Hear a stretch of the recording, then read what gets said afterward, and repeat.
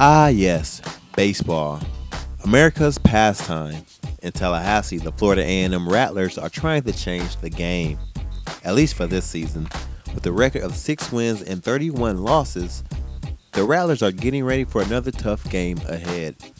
As the new head coach of the Rattlers, Willie Brown says he would like to see more fans come out to the game despite the losing streak. Just come out and watch us. The record is, isn't indicative of, of how hard these kids work. Uh, you know, we have some flaws, we have some issues, um, and uh, you know those issues are glaring if you come out and watch us. But the kids play hard. Uh, for nine innings, uh, they play hard for us, and they represent this university well.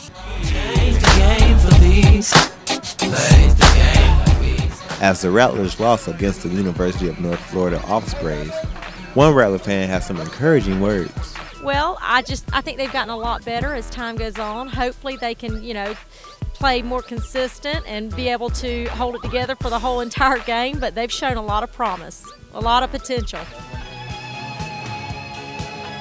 The Rattlers are down but not out with their 5 and 8 record in the Mid Eastern Athletic Conference. They have a chance to become victorious.